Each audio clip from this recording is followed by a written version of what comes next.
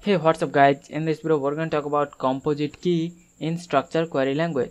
Composite key is the combination of two or more columns that can uniquely identify each row in the table. Like an example we have the employee table.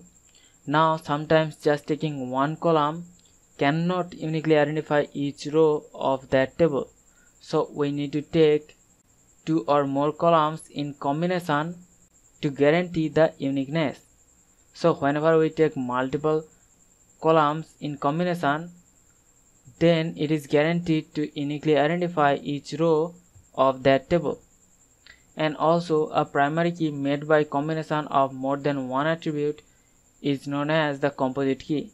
Like an example we have the employee table and we have created the primary key using two columns. So we are using the column id and column name in combination as a composite key to uniquely identify each row of the employee table.